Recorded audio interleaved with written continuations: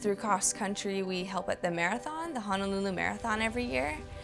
And we go really early in the morning and set up 60,000 cups before the sun even comes up. And it's just really fun to see um, all the fastest runners come zooming by and it's inspirational too. So I really like helping with that every year and taking the boys to help as well. Family is definitely important to us, um, especially coming from Hawaii. Family, everyone talks about ohana here, and family means that no one gets left behind or forgotten. I think the number one thing that makes a house a home is, is the people that live in it. You know, the love, you know, the love that everyone shares with uh, one another. So out of high school, I signed a scholarship to play football at the University of Arizona. And my family came up to watch me. And then I think they liked it enough that they moved the whole family up. Long story short, my foster parents got into trouble. One actually passed away and the other ended up going to prison and is actually going to prison for the rest of his life. Um, and the kids were gonna go back to, to foster care. There was a point when they were with me and where they left where the, state took them from me.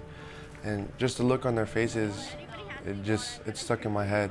Now that they were a new family, to go through that again would just be terrible, I think. And I think that's why Makani really, really wanted to keep everyone together. And I think that's why they all really wanted to stay together. And you know, with all the terrible stuff going on around you, you just want to hold on to the one good thing that you have, which is, you know, your brothers and your sisters and whoever is there that cares for you. To be family, you don't even have to be blood. You know, the love that I've grown for these kids is, is, is as if they were my own. It's just the, the love and the bond that you create with each other and the memories that, that you create with each other throughout your life, and that's what kin is to me. My mom plays a huge role in our lives. When Makani and I started taking care of his younger siblings, she was there for us the whole time. She also had a lot of support from her family and my aunties and uncles and grandma and grandpa, and she knew that, you know, when she was supporting us, that the whole entire family would support us too.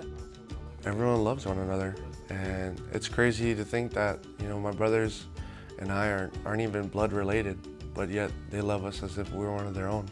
You know, people always say that it takes a village to raise raise a child, and that's so true anywhere you go, and especially in Hawaii because that's you know how it was. Everyone took care of each other. Permanency means a lot. It means that no more moving around, no more moving into a different bed, no more different smells, no more no more learning new relationships. You know, it's just being stable. The biggest thing that we can do is to show them that you, you you love them. You know, hugs, kisses, tucking them into bed, praying with them. It's just, when you show them that love and you, you know, create a bond with them, they feel safe. They feel, because I've gone through it also. I know what I wanted.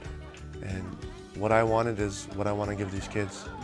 You know, someone knowing that they're going to be safe no matter what.